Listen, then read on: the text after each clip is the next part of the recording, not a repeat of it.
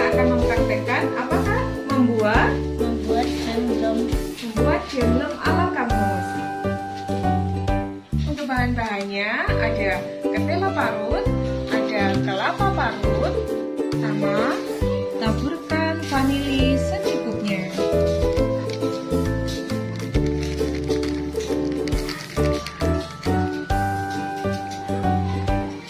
Secukupnya.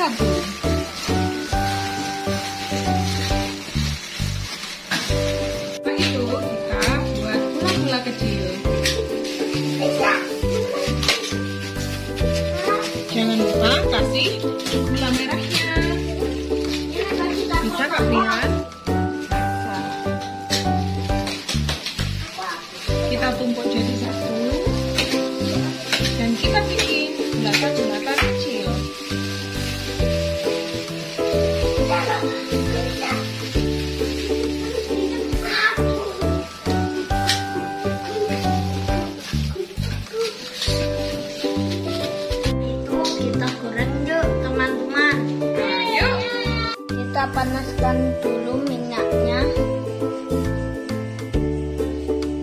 minyak sudah panas,